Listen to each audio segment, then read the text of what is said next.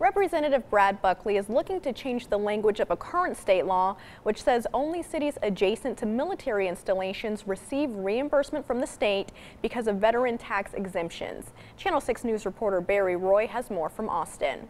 Yeah, good evening. House Bill 634 sits before the Appropriations Committee as the city of Harker Heights stares down the barrel of $1.6 million in revenue loss. Qualify under current law. State Representative Brad Buckley continues to bring House Bill 634 to the forefront during this year's legislative session in hopes of changing the language of Chapter 140, a reimbursement program for cities impacted by tax relief for 100% disabled veterans. know that we fully support. This fiscal year, Harker Heights is to forego over 18% of the city's total property tax revenue. It's an unintended consequence of the program. Uh, uh, the original legislation didn't contemplate uh, that a community may not directly touch a military installation and have significant impact. $1.6 million. The mayor of Harker Heights, Spencer Smith, says the financial shortfall impacts everyone. That $1.6 million are things that could be spent on infrastructure like roads, sewer, water, but also on public safety. Revenue losses, according to Harker Heights, have an averaged increase of 31% per year. And while the losses pile up and possible budget cuts loom,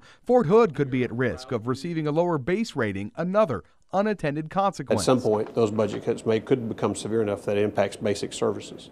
And so now you have a lower quality of life, and should a future base realignment and closure commission come up, you could actually have a lower rating of the base because of the lower quality of life that surrounds it. As for Mayor Smith, when asked what his next move if this should fail, backup plan is that we got to be really as we go into budgeting. You know, if this continues like that, we get look at services and things that we have to do. We have to and again, in the out years, it's, uh, it's not a pretty picture. I asked Representative Buckley how he thought today went in front of the committee with all the public comment.